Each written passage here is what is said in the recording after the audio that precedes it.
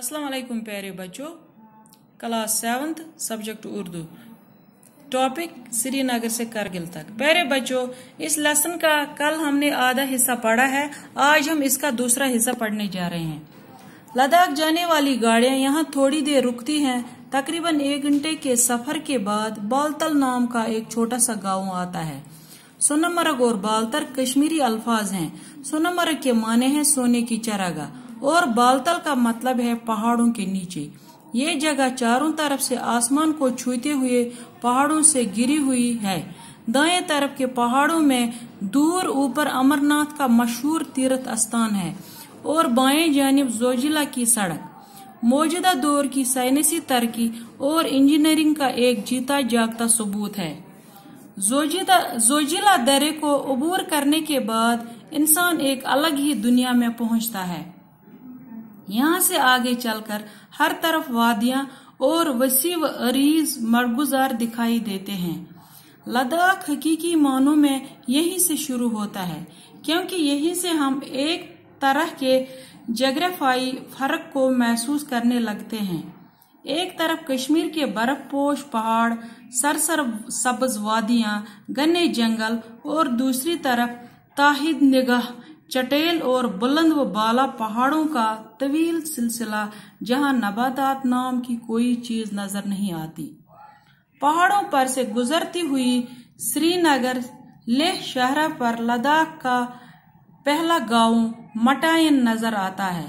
लद्दाख के तर्ज ज़िंदगी, सकाफत और जबान का नमूना लद्दाख के सफ़र के दौरान पहली बार हमें यही मिलता है। मटाइन के बाद द्रास आता है, जो दुनिया में साइबेरिया के बाद दूसरा सरद तरीन मुकाम है। प्यारे बच्चों, आज हम इतना ही पढ़ेंगे।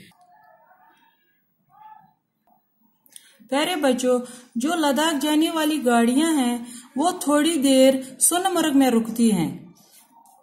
तक सोनमर्ग से एक घंटे सफ़र करने के बाद बालतल आता है। बालतल एक बालतल नाम का एक छोटा सा गाँव आता है। सोनामर्ग और बालतर, ये दो, ये दोनों अल्फाज कश्मीरी हैं। सोनामर्ग के माने हैं सोने की चरागा। यानी वो चरागा चरागा हम उस जगह को कहते हैं जहाँ पे जो मवेशी होते हैं, इनको चराने जाते हैं। ये सोने की चरागा दिखती है। यानी ये गोल्डन कलर दिखती है। और बालतल का मतलब है पहाड़ के नीचे। पहाड़ के नीचे जो जगह होती है, इसको कश्मीरी में बालतल कहते हैं। ये जगह चारों तरफ़ से आसमान को छूते हुए पहाड़ों से गिरी हुई है। ये जो बालतल जगह है, इसको, इसके चारों ओर बड़े बड़े पहाड़ हैं। वो ऐसा लगता है कि जैसे ये पहाड़ आसमान को छूते हैं। यानी ये बहुत ऊँचे ऊँचे पहाड़ हैं। दाएँ तरफ़ इसके, दाएँ तरफ़ अमरनाथ मशहूर तीर्थ स्थान है। यह हिंदुओं का एक मशहूर जियारत है, जिसका नाम है अमरनाथ। और बाएँ जानब जो सड़क है, उस सड़क का नाम है जोजिला सड़क। जोजिला सड़क जो मौजूदा साइंसी दौर है। साइंसी इंजीनियरिंग का एक जीता जाता सबूत है। यानी ये जो सड़क है, ये इंजीनियरिंग ने, जो इंजीनियर्स हैं, इन्होंने ऐसी बनाई है, वहाँ पे इंसान की अकल दंग रह जाती है कि किस तरह पहाड़ों को चीरते हुए इंजीनियर्स ने ये सड़क बनाई है।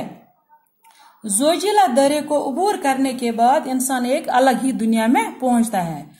जोजिला जो दरा है, दरा मीनस गाठी, जो दो पहाड़ों के दरमियान जो जगह होती है, इसको दरा कहते हैं। जो जोजिला दरा को अबूर करने के बाद इंसान एक अलग ही दुनिया में चला जाता है।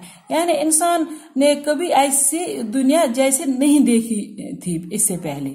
जब इंसान लद्दाख जाता है तो इंसान को एक अजीब सी दुनिया उधर जोजिला के आगे लगता है। यहाँ से आगे चलकर हर तरफ़ वादियाँ और वसी वो मड़गुजार दिखाई देते हैं। मड़गुजार यानी सरसब्ज वादियाँ। लद्दाख हकीकी मानों में यहीं से शुरू होता है। यानी लद्दाख यहीं से ही शुरू होता है। जब जोजिला स्टार्ट होता है, शुरू होता है तो लद्दाख वहीं से स्टार्ट होता है। क्योंकि यहाँ से हम एक तरफ़, तरह के जग्रफाई फ़र्क महसूस करते हैं। वहाँ से हम फ़र्क महसूस करते हैं। यानी मौसमी फ़र्क हम महसूस करते हैं। या वहाँ के जो रहन सहन है, बाकी जो लद्दाख में जो कल्चर है, जो सकाफत है, वो वहाँ से ही अलग लगती है। इसी जगह से यहाँ से लद्दाख का माहौल दिखता है। एक तरफ़ कश्मीर के बर्फपोश पहाड़, एक तरफ़ हमें कश्मीर के बर्फपोश पहाड़ जो बर्फ़ से डेको हुए हैं, वो दिखाई देते हैं और सर सर सबज घने जंगल दिखाई देते हैं। और दूसरी तरफ़ ताहिद निगाह, यानी दूर दूर तक, ताहिद निगाह मीनस दूर दूर तक चटेल और बुलंद बाला पहाड़ों का तवील सिलसिला। चटेल मीनस जो वो मैदान जहाँ पे कोई घास वगैरह कुछ भी नहीं है। यानी वहाँ से जो पहाड़ जो बुलंद पहाड़ हमें दिखते हैं, वो बिल्कुल नंगे पहाड़ हैं। उनमें नबातात की कोई चीज़ दिखती नहीं है। या, यानी उनमें कोई पौधे या, प्लांट्स कुछ भी नहीं, वो बिल्कुल नंगे पहाड़ हैं। पहाड़ों पर से गुजरती हुई श्रीनगर लेह शहरा पर लद्दाख का पहला गाँव आता है जब हम इन पहाड़ों से गुजरते हैं तो लेह शहरा पर लद्दाख का पहला गाँव, जिसका नाम मटाइन है, नज़र आता है। यहीं से वो गाँव नज़र आता है।